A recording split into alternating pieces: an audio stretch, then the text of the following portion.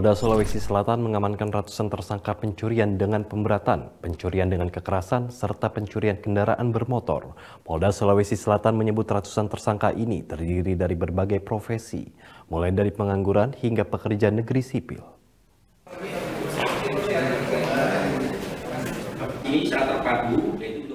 Polda Sulawesi Selatan mengamankan ratusan tersangka pencurian dari berbagai profesi dengan pemberatan atau curat, pencurian dengan kekerasan atau curas, dan pencurian kendaraan bermotor curanmor. Ratusan tersangka itu merupakan hasil pengungkapan operasi sikat lipu Polda Sulsel mulai dari tanggal 6 Juni sampai dengan tanggal 25 Juni 2023. Kapolda Sulawesi Selatan Irjen Pol Setio Budi Mumpuni Harso menyebut ratusan tersangka itu terdiri dari berbagai profesi.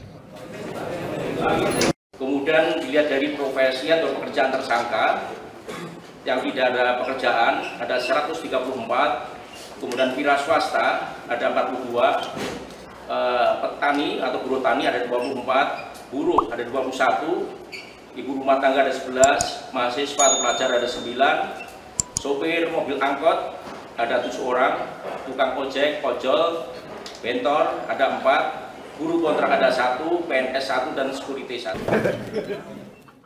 Modus operandi yang dilakukan tersangka yaitu dengan mengancam korban menggunakan senjata tajam, merusak pintu atau jendela, hingga merusak kunci menggunakan obeng.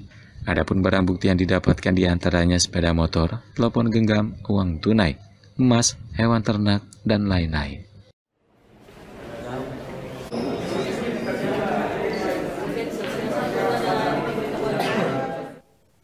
Ditinggal pemiliknya, sebuah rumah yang dijadikan pabrik kue di Karang Tengah Tangerang, Banten hangus dilalap si jago merah. Kondisi rumah yang terkunci serta sulitnya mendapatkan sumber air menjadi kendala petugas dalam memadamkan api.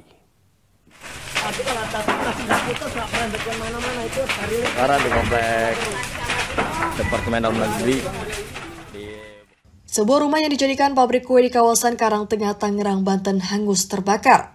Banyaknya material yang mudah terbakar membuat api cepat membesar dan menghanguskan seluruh bangunan dalam satu waktu singkat. Sejumlah petugas dari pos damkar Ciledug bahu-membahu berusaha memadamkan api. Kondisi rumah yang terkunci serta sulit yang mendapatkan sumber air menjadi kendala petugas dalam memadamkan api. Saat kejadian berlangsung, kondisi rumah dalam keadaan kosong. Sang pemilik diduga tengah merayakan Hari Raya Idul Adha di rumah sanak saudara. Selain melalap seluruh bangunan rumah, kobaran api juga menghanguskan dua unit sepeda motor dan dua unit mesin pengupas kelapa. Peristiwa ini juga sempat membuat panik warga. Pasalnya, titik api saling berdekatan dengan rumah-rumah warga. Menurut syuhada, diduga api berasal dari hubungan arus pendek listrik. Setelah satu jam, petugas damkar berhasil memadamkan api dengan menerjunkan 8 unit mobil pemadam kebakaran. Muhammad Tegar Alfiansyah, Garuda TV melaporkan dari Tangerang, Banten.